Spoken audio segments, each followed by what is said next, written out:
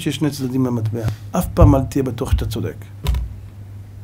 יש את הצד שלך, נכון? שניים מתווכחים בגמרא, יש מחלוקת. מה, בן אדם יכול לבוא ולהגיד, קבלו דעתי? אל תאמר קבלו דעתי. מי אתה? אולי הוא צודק, ואולי אתה צודק. אבל אל תהי דן יחידי שאין דן יחידי, אתה לא יכול להכריע.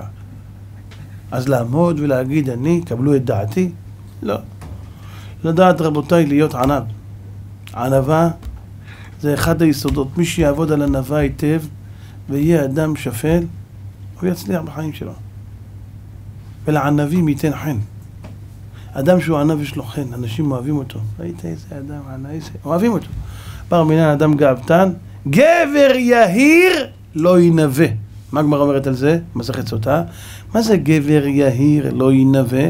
אפילו בנווה שלו אינו רצוי. זאת אומרת, אדם גאוותן, אפילו בני ביתו שונאים אותו. הילדים שלו שונאים אותו, אשתו לא סובלת אותו, גאוותן כזה, כל הזמן, אני, אני, אני, אני, אפשר לדבר איתו. אדם לא אוהב אותו. ואדם שהוא ענב, הוא נותן לכל אחד את זכות הדיבור שלו ומקשיב עד הסוף, ולא נכנס בדברי חברו שנקרא גולם. תן לו להוציא את שלו, תן לו לדבר. ואתה מראה לו שאתה מקשיב לו, אתה מראה לו שהדברים שלו חשובים בעיניך, ואתה לא מבטל את דבריו עם יד. שאחד הדברים הגרועים שלנו, שאנחנו מבטלים את הדברים של השני. אל תבטל את הדברים שלו. הוא ירגיש שאתה... שאתה מזלזל בו.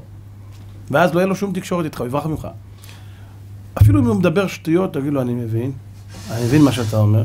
אפילו שאתה מבין שהוא מדבר שטויות, אני מבין שאתה מדבר שטויות, זה הכוונה, כן? אני מבין, אני מבין, לא משנה, אני מבין. איך שאמרת לבן אדם, אני מבין, בוא'נה, הוא מבין אותי.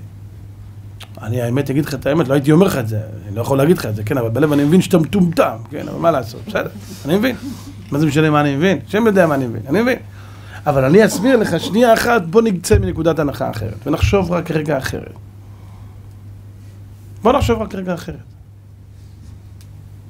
ואתה נותן לו קו חשיבה אחר.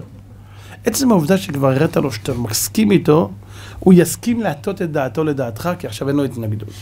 ברגע שהכרזת מלחמה ואמרת לו, מה שאתה מדבר זה שטויות, אתה ביטלת אותי? חכה, אני אעשה לך ביטול חמץ, כי חרס הנשבע הוא דבר שאין בו ממש. מה אתה, מה אתה מבלבל אתה, מה אתה מבין מהחיים שלך? הוא לא יקבל אותך בחיים.